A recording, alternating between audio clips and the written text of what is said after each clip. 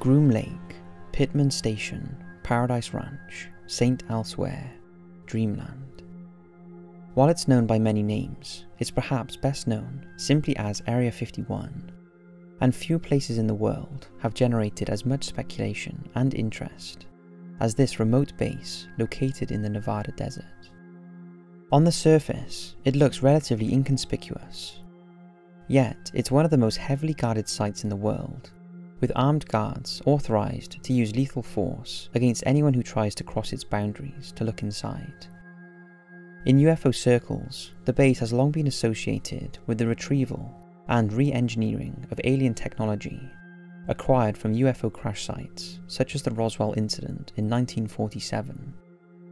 Indeed, witnesses have reported strange objects in the sky around the base, and people who have claimed to work at Area 51 tell stories of experimental aircraft based on the alien propulsion systems the fact that the US government wouldn't even acknowledge the base's existence until 2013 has only reinforced the belief by some that something otherworldly is kept inside the well guarded base perimeter.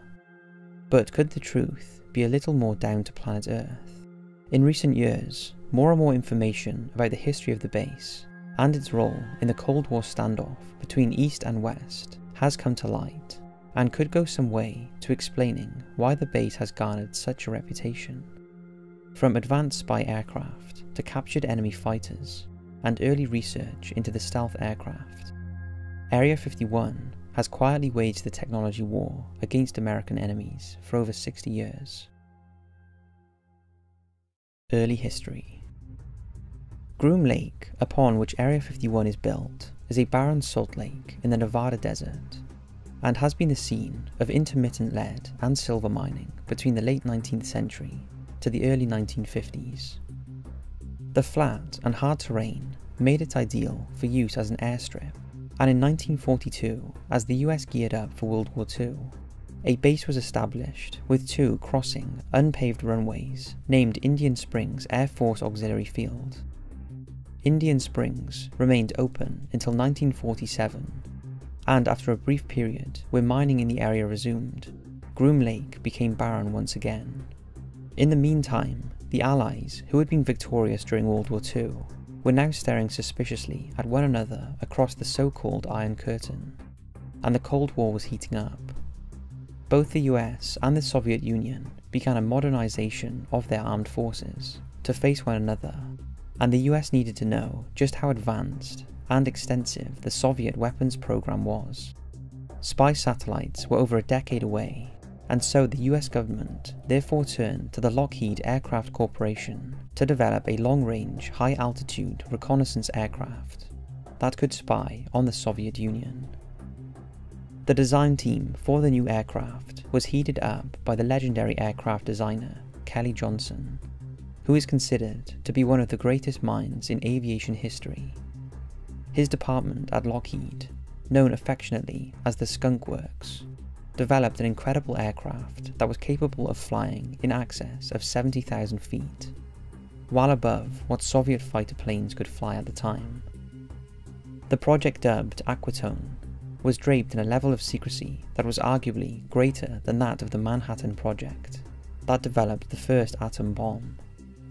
Paperwork surrounding the project was not stamped as secret, so if they were ever lost or misplaced, nobody would know it was a secret document, and would likely dismiss it rather than let curiosity at having a secret document get to them and start reading it. The aircraft was also given the designation of U-2 as part of its cover, since in the US military, aircraft marked with a U are generally transport or logistic types rather than spy planes. The unique qualities of the U2, combined with the required level of secrecy, was forever a problem for the design team when it came to finding an appropriate test site. More than 50 sites were rejected before Kelly's team stumbled across the old wartime strip at Groom Lake. The wartime strip was by then in a poor state, and so a new runway would have to be built specifically for the U2. Convinced he had found the ideal place he convinced the US government to purchase the land, and it was given a grid reference by the Atomic Energy Commission namely Area 51. Unfortunately, at that time, the US was conducting nuclear weapons tests at the nearby Nevada test range, and the Salt Lake was downwind of these tests. This disrupted Kelly's team as they worked to prepare the site for U 2 testing, as they had to shut down work to allow the radioactive clouds to pass. However, tests carried out as late as the 1980s would show the area had a higher than normal radiation level, resulting in a cleanup effort, and has led to employees at the base trying to get compensation for radiation related illnesses. In July 1955, the first U 2 was airlifted to the site and prepared for testing, but the U 2's first flight was not exactly intentional. On August 1, 1955, Lockheed's chief test pilot, Tony LeVier, was performing a high speed taxi run when he suddenly realised the wheels had briefly left the ground. Flight testing of the U 2 began in earnest, and the following year, this incredible aircraft began flying operations over the Soviet Union, gathering intelligence on Soviet forces. The Soviets struggled to track the aircraft due to the altitude it was flying at, and lacked any way of intercepting it. The US also used the U 2 to spy on British, French, and Israeli forces, engaged in the ill conceived Suez War against Egypt in October 1956. British pilots would later arrive at Area 51 for training to fly the U 2 themselves on behalf of the American and British intelligence services. Despite the success of the U 2 in its early operations, it was clear to all that it was only a matter of time before the Soviets developed technology to counter it.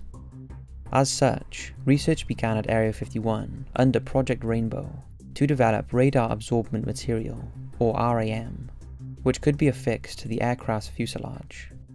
As the name suggests, this material was designed to prevent radar beams from bouncing back to the ground station and revealing the aircraft's position by absorbing them into the aircraft's body.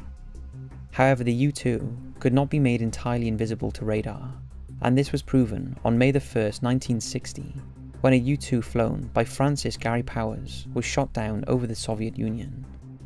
A second U 2 was shot down over Cuba during the Cuban Missile Crisis in 1962. In order to keep gathering intelligence on the Soviets and their client states, such as North Vietnam and China, a new aircraft was developed that could fly higher and faster than anything the Soviets had, and Area 51 was again at the forefront of the test program. Developed again by Kelly Johnson under Project Oxcart, the new aircraft was designated as the A-12, repeating the misinformation trick they had done with the U-2 since A refers to attack aircraft. The A-12 was assembled and flown for its first time from Area 51 on April 25, 1962 Curiously, like its predecessor, the A-12's first flight was accidental, taking place during what should have just been a ground run. Looking more like one of the wonder machines that Area 51 is famous for, the A-12 was capable of over three times the speed of sound, and could fly even higher than the U-2. The enormous stresses this flight regime imposed on the aircraft were such that the only material the aircraft could be realistically constructed with was titanium. But in the early 1960s, the only reliable source for titanium was the Soviet Union, and it was unlikely that they would be willing to sell it to the US for use in their newest spy plane. Therefore, the CIA created a string of fake foreign companies to purchase the titanium from Soviet manufacturers, and then secretly transported it back to the US for use in building the A-12. As well as having astonishing performance, the A-12 was also the first aircraft designed to evade radar. A model of the A-12 was assembled at Area 51, mounted on a stand in front of a radar dish to monitor how effective it was at deflecting radar beams from different angles. While not a true stealth aircraft, the A-12 was an exceptionally difficult aircraft to detect. During its lifetime, the A-12 flew missions over North Korea and then over Vietnam during the Vietnam War. Flying such an unusual aircraft was often difficult, and on January 5, 1967, an A-12 crashed on approach to Area 51, killing its CIA pilot, Walter Ray. the A-12 was withdrawn from services in 1968, but was replaced by the SR-71 Blackbird, a development of the A-12 that incorporated all the experience gained in the testing at Area 51. Another peculiar aircraft program that is associated with both Area 51 and the A-12 is the D-21 unmanned drone. The D-21 was designed to be carried on the back of an A-12 to a launch point just outside enemy territory, after which it would separate and then fly through heavily defended enemy territory, taking pictures of high priority targets. The photographic film would then be ejected over the ocean for retrieval while the D-21 itself would self-destruct. The D-21 was not a success, and its intended role was carried out by the first generation of spy satellites, but it did help pave the way for modern drones. Indeed, spy satellites were a growing problem for Area 51 in the 60s, since they threatened to finally break through the base's once airtight veil of secrecy. The U-2 and SR-71 were therefore tasked with photographing the base from high altitude to assess just what Soviet satellites could see and work out how best they could conceal operations whenever one went above the base. But it wasn't only American aircraft that were tested at the secret base. In the skies over Korea in the early 1950s, and then again over Vietnam in 1960s, the US Air Force and US Navy began to realise that although technologically inferior to their own sophisticated warplanes, Soviet-supplied fighters were still highly capable in combat. In Vietnam especially, US fighters put up a poor showing against the primitive North Vietnamese aircraft, and so the USAF, US Navy, and CIA worked to unlock the secrets of these aircraft and develop tactics against them. For that, they needed to get hold of these aircraft for evaluation especially the new MiG-21. During the early 1960s, the Israeli Mossad intelligence service undertook Operation Diamond in order to recruit an Iraqi pilot to defect to Israel in the MiG-21. On August 16, 1966, Iraq pilot Munir Redfa flew his MiG-21 to Israel, and the following year, the Israelis loaned the aircraft to the US to evaluate. The aircraft operated out of Area 51 and was given a phony US designation to disguise its identity on official documentation.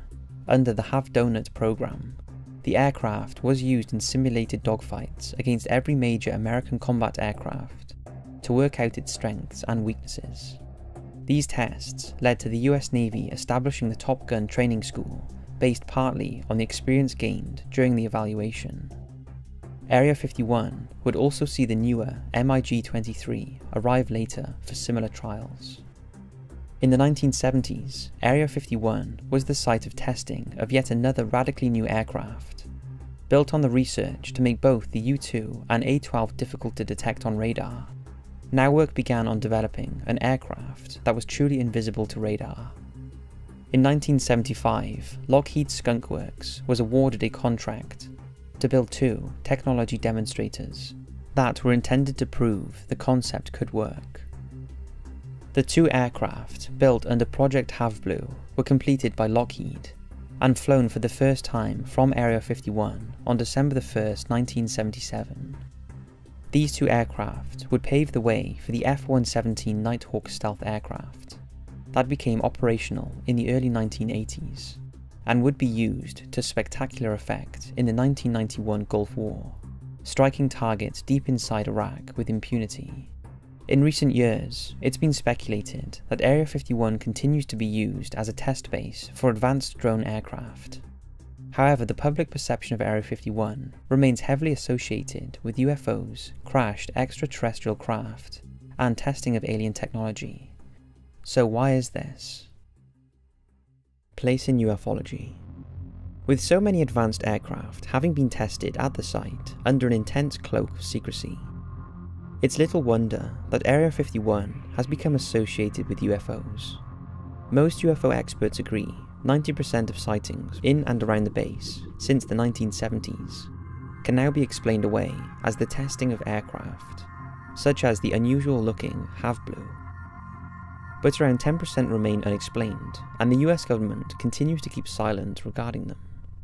This has only served to fuel the many conspiracy theories over just what goes on there, even though there is often little evidence to support them. Some of the theories put forward the belief that the base has been involved in anti gravity and even time travel experiments.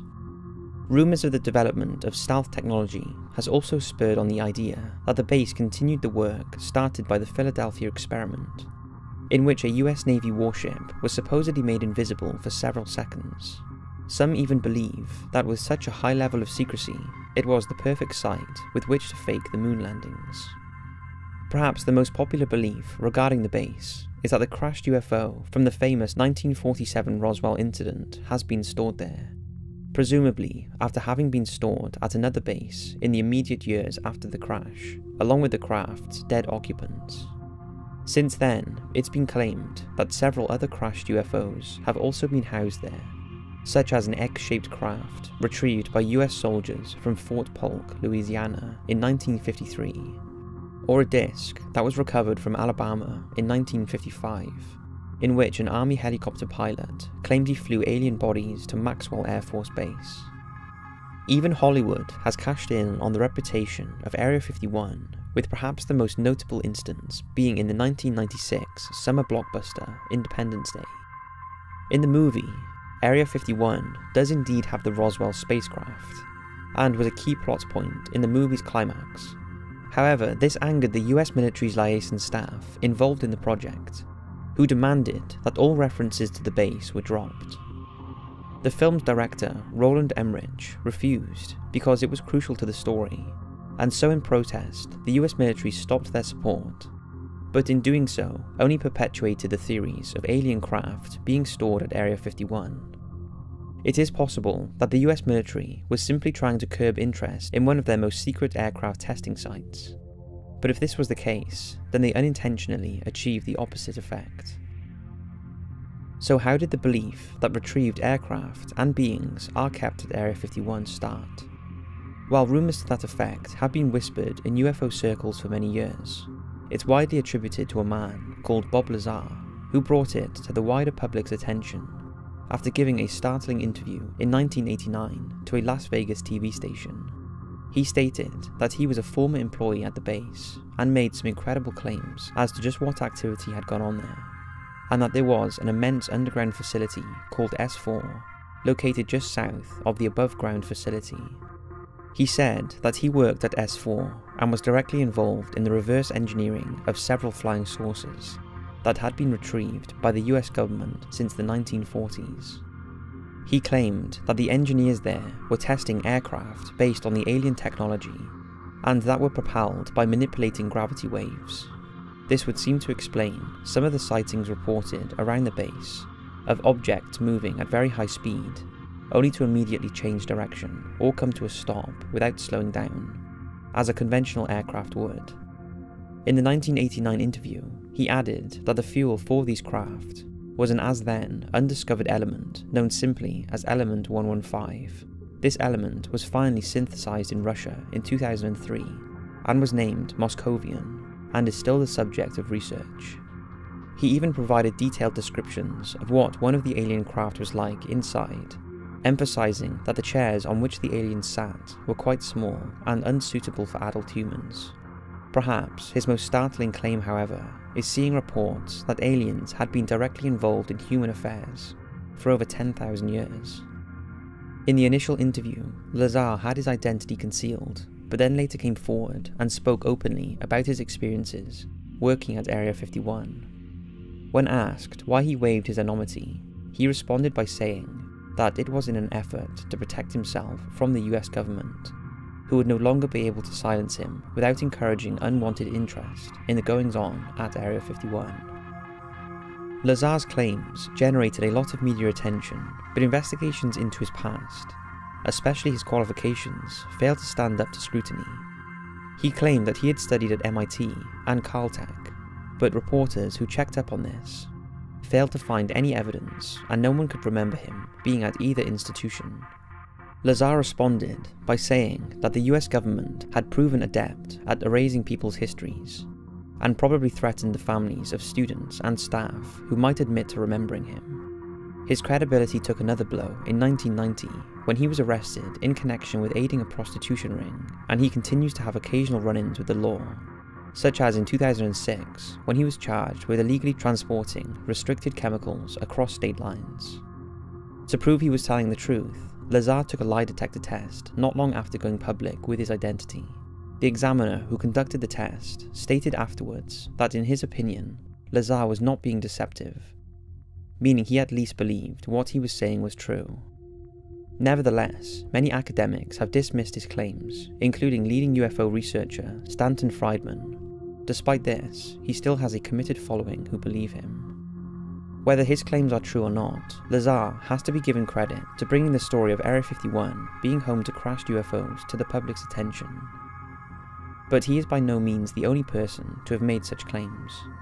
Just a few years later, in 1996, Sky TV produced a documentary about Area 51 entitled Dreamland as part of that summer's UFO craze, thanks to Independence Day's release. The producers interviewed a 71 year old man who claimed to be a former mechanical engineer at Area 51, who had not only worked on alien technology, but actually interacted with an alien being known only as J Rod. The engineer claimed that his job was to build a simulator for US pilots to train to fly a disc shaped craft under J Rod's supervision. Less than a year later, on May 23, 1997, radio DJ Art Bell was hosting his daily show when a man phoned in claiming to have worked at the S4 facility at Area 51. He only referred to himself as Victor and claimed he was the one who leaked a video commonly known as the Alien Interview which allegedly took place at Area 51. The video has been debunked by most experts, and it is possible the man was trying to simply generate interest in it. But then on September the 11th of the same year, another man phoned in to Bell, claiming to be another Area 51 employee, and that not only were alien ships and beings being kept there, but that there was a frightening global alien conspiracy at work. The man was clearly dishevelled and terrified, growing more upset as the call went on, which made people believe that the man felt that there was a genuine threat to whomever was calling. But if that wasn't creepy enough, the radio broadcast suddenly went silent because of a mysterious malfunction to which Art Bell couldn't explain. This led people believing that the government was trying to silence the caller. On April 28, 1998, Art Bell spoke to another caller, claiming to be the frightened Area 51 employee. Only this time he was calm and collected, claiming the first call was a hoax and part of a number of wacky characters he created to call into the show with. The man would only give his name as Brian, but while he admitted that this call was a hoax, he couldn't explain the interruption of the signal during the broadcast, and said that he went to bed that night freaked out that maybe he had gone too far and upset the wrong people. On September the 9th, 2014, almost 17 years to the day of the first call, Comic book writer Brian Glass publicly admitted that he was behind both calls. However, some listeners to the broadcast have claimed that the second caller could not have been the same person as the first, because of the difference in the mannerism and tone, but Glass maintains he was responsible for both. The next significant figure to emerge in the story of Area 51 is Dr. Dan Burisch. Burisch was a noted psychology and biology academic being the youngest person to ever be admitted to the Los Angeles Microscopical Society, and had links with Dr. Edward Teller, who was known to be linked to Bob Lazar. In 1990, Burisch was employed by the US government as a biowarfare specialist during Operation Desert Storm, where it was feared the Iraqi forces would use biological weapons against US and coalition troops. Burisch claims that in 1994 he was offered a position at Area 51 to work on a project known as Aquarius. Having gained his security clearance, Burisch said he flew to Area 51 from Las Vegas McCarran International Airport, aboard one of the so-called Janet Airlines Boeing 737s that provide transport services to employees of the base. He said that on the flight, the Neil Diamond song Coming to America was repeatedly played as part of an indoctrination to what they could expect there as the song is about immigrants looking for a better life in the US. Only in this instance, the immigrants were aliens. After landing at Area 51, he was then transported to the huge underground S4 facility, where Lazar had claimed he worked. Curiously, Burisch said that one of the options available to getting to S4 was a military Mi-24 Hind D helicopter gunship.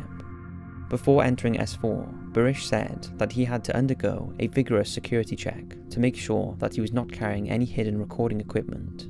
This included him stripping naked and having his body checked. Once inside S4, he claimed to have seen numerous alien and human alien hybrid technology craft, before meeting the alien known as J-Rod. Under Project Aquarius, Burisch and J-Rod worked on cloning and researching alien viruses. Although perhaps the word alien is inappropriate. According to Burisch, J-Rod's people were actually from Earth, but 50,000 years in our future, where a major catastrophe saw them escape across space and time. The work was carried out under the authority of the mysterious Majestic 12 organization. But Burisch said J-Rod became extremely ill and he had to care for him before helping to send him back into space through an ancient device similar to a Stargate. Understandably, these extraordinary claims have been the source of much debate. Like Lazar, Burisch's credentials have been called into question, with his supporters claiming that he too has had his history tampered with to discredit him. Others claim that his story is little more than an amalgamation of previous stories, including ones that have been debunked. Some of his employment history seems to contradict his education claims, and he is known to have a history of financial difficulty, so would benefit from going public with such a story. Burisch himself has even suffered physical attacks over his claims, but his supporters simply claim that the infamous Majestic 12 organization is succeeding in clouding the truth. But while both Lazar and Burisch have been called into question regarding their authenticity in recent years, another person came forward to claim that he knew of the existence of alien beings and technology at Area 51, and he was far more difficult to discredit. His name was Paul Hellyer, and he was the Canadian Defence Minister between 1963 and 1967.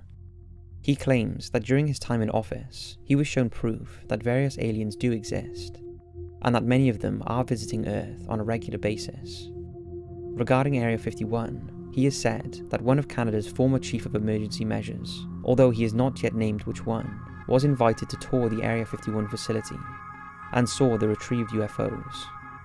The Canadian official was also given a briefing on what to do should a UFO crash on Canadian soil. So how likely is it Hellyer is telling the truth?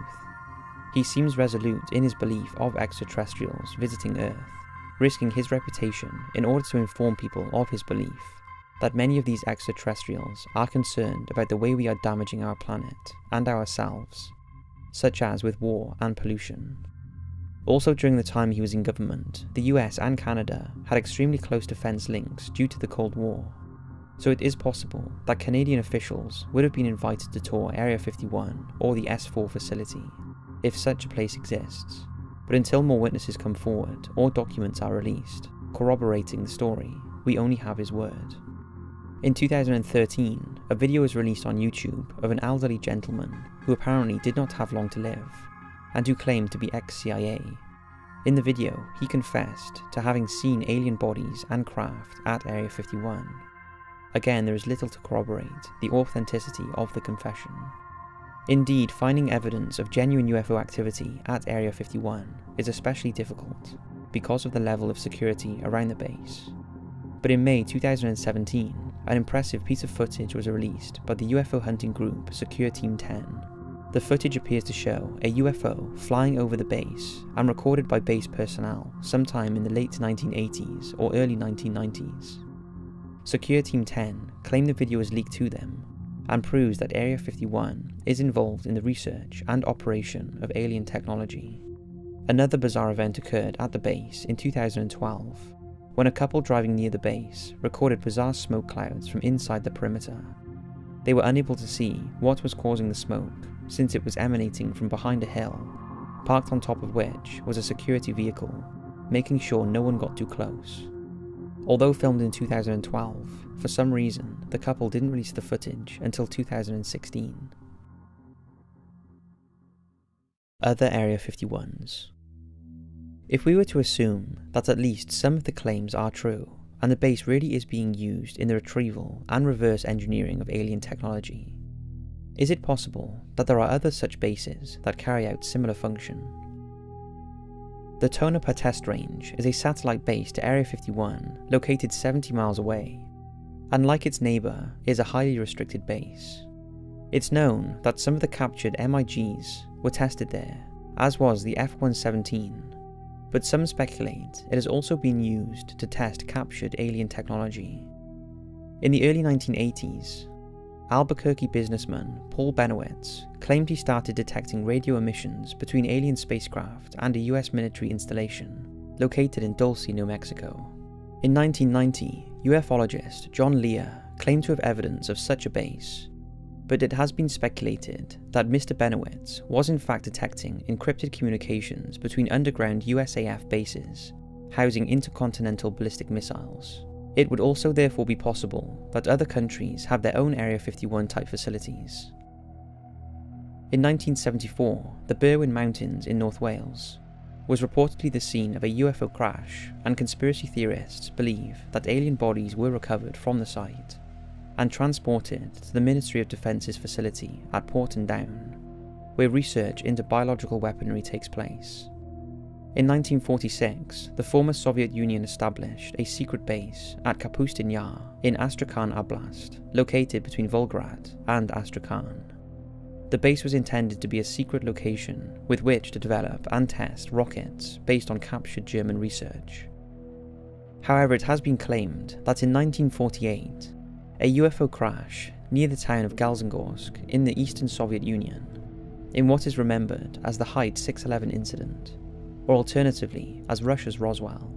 Also mirroring the claims regarding Area 51, conspiracy theorists believe that the craft and its occupants were transported to Kapustin Yar for study, and that an underground base was established there for that purpose. It's true, the base has a long history of UFO sightings, including a number of triangular shaped objects landing and taking off vertically. But like its American counterpart, the base's full history remains classified. In recent years, there has been speculation among some ufologists that even Nazi Germany had their equivalent to Area 51 during the Second World War. Located at the Wenceslas mine in Poland, the site was supposedly the scene of research into an advanced bell-shaped device known as the Die Glocke, the purpose of which remains up for debate even amongst those who believe in its existence. Some believe it was an anti-gravity device, while others think it was a weapon since at least five scientists were supposedly killed during testing. Perhaps the most outlandish theory is that it was a device for looking through time. But regardless of which is true, if any of it is, the question has to be asked just how did the Nazi scientists unlock this technology? Some have theorized that in their quest for furthering the Aryan race, they made contact with a group of aliens known as the Tall Whites or Nordic types because of their Northern European look some alien conspiracy theorists have put forward the idea that this group of aliens, Burisch claims is one of a number of aliens who developed on Earth in the future, like J-Rod species, gave the Nazis the technology necessary to start their research, but that the project was not complete before Nazi Germany fell to the Allies. They speculate that the Die Glocke was destroyed, while others claim it was smuggled to a South American country. Conclusion for a base so shrouded in secrecy, it's easy to see how it can fuel the imagination. And until the base's full history is finally revealed, there will always be speculation, rumours, and unfortunately hoaxes. However, this aspect of the base's story should not overshadow the important role it has played in history, particularly the Cold War. Stories of alien technology aside, it's likely many new types of drone aircraft are being tested there, the sightings of which only further the base's association with UFOs. Commercial satellite imagery from sources such as Google Earth, taken over several years, reveal the base has actually expanded since the end of the Cold War, implying that it remains a key part of America's defense and intelligence operations. Whatever the truth of Area 51 is, this fascinating site still remains well guarded, and despite the US government finally acknowledging its existence, it's unlikely to give up all of its secrets anytime soon, meaning it truly does earn the name Dreamland.